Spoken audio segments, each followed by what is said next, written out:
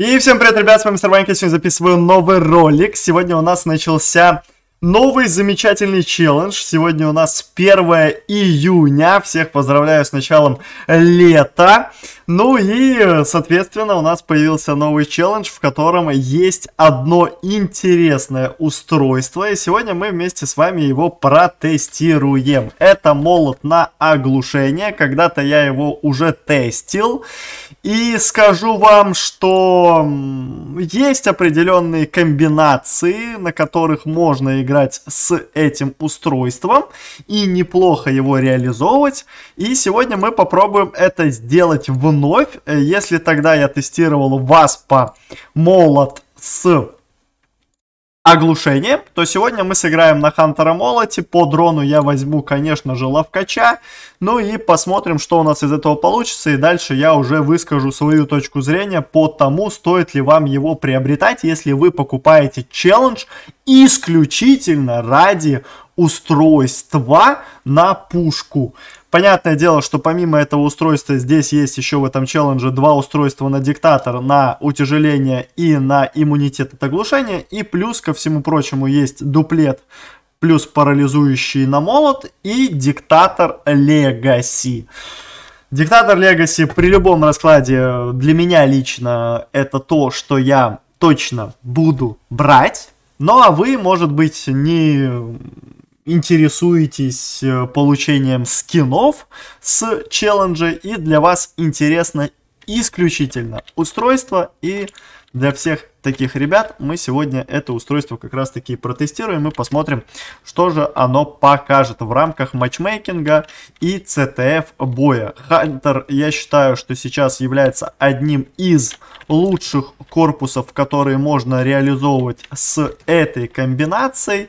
Ну и также нужно стараться играть чуть-чуть более грамотно с этим молотом, то есть можно по сути э, разряжать два первых выстрела и уже третий выстрел, который будет у вас с оглушением, наносить по противнику. И, например, в CTF он будет вам давать возможность э, дополнительного увозика, да, если, например, противник будет жестко дефить, вы просто два выстрела разряжаете, залетаете на базу, 105 типа и быстро улетаете. Плюс у вас есть корпус Хантер, который имеет очень хороший овердрайв для увоза флага. И еще, ну, если вот, например, выбирать еще какие-то корпуса, то я бы, наверное, бы обратил внимание на Хоппер. Хоппера молот тоже будет смотреться, как по мне, интересно. Но здесь уже очень многое зависит от вашей реализации, да. То есть, может быть, Хоппер круто себя покажет, а может в какой-то ситуации и Хантер будет намного-намного жестче, да, то есть здесь уже все зависит от того, как вы будете играть и что вы будете делать. 2-0, очень легкая катка у нас, э, похоже на досрочку, я ну, стараюсь просто наносить обычный дефолтный дамаг э, с молота, плюс э, в моменте где-то добавлять оглушение и за счет этого давать себе чуть-чуть спейса. Но э, если так уж по чесноку, по актуальности, я вам скажу, что этот молот, э, он немножко не дотягивает до э, нагибаторского. Э, расскажу в чем. Э, если вы выдаете молот с оглушением, э, у вас э, не успевает перезарядиться еще один выстрел, ну то есть баллон полностью, да, чтобы вы еще нанесли урончик. Соответственно, реализация оглушения может быть только э, хороша в том случае, либо если вы стопите овердрайв противнику, либо если вы, например, глушите типа, чтобы увести флаг, да, то есть тогда это будет работать. А так, чтобы вы, например, нанесли молот с оглушением и дальше сверху добавили ему с еще одного э, баллона, да, то есть выстрел, такого вы, к сожалению, сделать никаким образом сейчас не сможете. Соответственно, уже актуальность и супер уникальность этого устройства, она, ну, не является столь жесткой, да, то есть будем объективны. И поэтому я, например, на молоте, когда играю, хотя я уже давно на нем не играю, потому что есть супер большое количество разных метовых пушек, но если бы я бы играл бы, я бы обратил бы внимание на... Блин, ну что это за прикол? Нельзя перевернуться с 0.5 на молоте. то я бы обратил внимание на молот с подавлением. Он очень хорошо себя показывает. И когда я только э, начинал играть на обновленном Хантере и Хоппере, мне с этим молотом было прям максимально комфортно. И этот молот, как по мне, ну не дотягивает до такого уровня уникальности и нагиба. Прям такого прям плотненького, жесткого и качественного. Да, это устройство можно реализовать.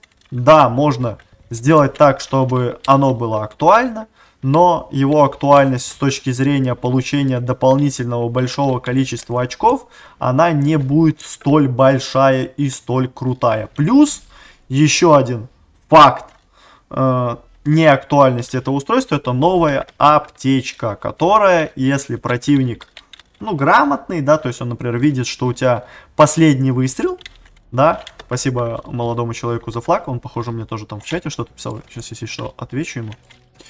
Э, то он может просто увидеть и законтрить, прожать аптечку и, соответственно, убрать всю вашу актуальность устройства и спокойнейшим образом вас набрить. Сейчас еще и шафту своему сбил случайно, нам надо возвращать. Но и мне еще непривычен очень сильно момент того, что именно с последнего выстрела проходит Э, оглушение и то, что надо всегда разряжать э, свой баллончик, чтобы оставлять чисто последний, знаете, выстрел. Я привык играть на дефолтных молотах, а не с донатскими вот этими замечательными устройствами, поэтому в моменте я просто не разряжаю баллон, хотя это актуально и это практически всегда нужно делать, да, то есть надо катать именно с последним выстрелом и уже на последнем выстреле давать оглушение, либо если у вас там будет эми пробитие, да, и уже от этого отыгрывать. Я вот сейчас, например, вообще разрядил впустую его. Ну и похоже у нас здесь будет э, быстрая досрочка, по крайней мере я на это надеюсь. Попытаемся сейчас увести последний флажочек. Наш teammate уже его подбирает. Вжимаем, ну не знаю, насколько актуальный overdrive, когда есть нулевой урон. Наверное, это был печальный overdrive. Уж что там два типа под нулевой урон попало. Но в целом на таких картах можно и спокойно выигрывать без даже супер-мега жестких грамотных overdrive ов. Но хотя Hunter с такой комбинацией, как по мне, сочетаются очень и очень круто. Да, то есть молот, даже с дефолтным устройством, там, например, каким-нибудь там с лагерем, адаптивной либо перезарядочкой, либо э, даже с тем же дуплетом, может себя очень круто проявить, показать и реализован быть как в CTF, так и в штурме за атаку так и даже в том же регби, да, можно комфортно себя чувствовать и реализовывать. Но моей оценки, касаемо моей оценки, да, то есть я бы, наверное, этому молоту дал бы по десятибальной где-нибудь, ну, наверное, пятерочку, пятерочку, да, то есть он не жесткий, он не слабый, может быть реализован, но, наверное, это не то супер имбовое устройство, если вы не донатите, и у вас там, например, там 800 танкоинов, да, и вот вы думаете, стоит мне приобрести этот молот, если у меня нет большого количества танкоинов, или же не стоит? Я бы сказал, что нет. Да, то есть лучше подождать какое-нибудь более жесткое устройство. Например, фриз с подавой, как по мне, намного сильнее, чем этот молот. Да. Даже Жига с Эми, которая тогда еще выходила в той мете, она была тоже намного симпатичней, чем этот молот. Поэтому целиком и полностью Здесь выбор за вами. Я не могу сказать, что это имба, не могу сказать, что это что-то печальное. То есть это что-то среднее, интересное устройство, которое вы можете реализовывать таким вот способом в нашем матчмейкинге. Пишите, что вы думаете по поводу этого замечательного устройства. Возможно, я не прав, возможно, вы со мной согласны. Напишите, будет интересно очень почитать.